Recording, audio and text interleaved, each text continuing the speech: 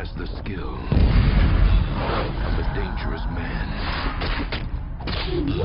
and the ability to see things before they happen. Jordan's visions of a bioterrorist threat have continued to gain in numbers and intensity. The threat I've been seeing is real.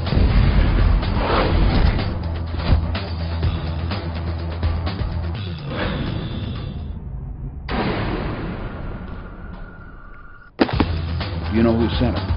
An old ally, friend of ours. This guy can see everything. He taught me everything. Do you think Victor Devereaux is the father of Armageddon? No, just the leader of it. I'm coming for you, my friend.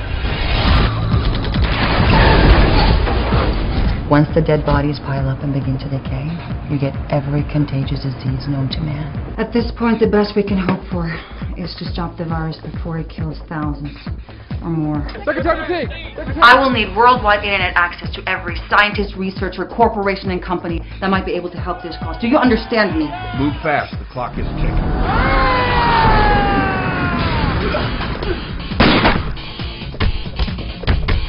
Jay!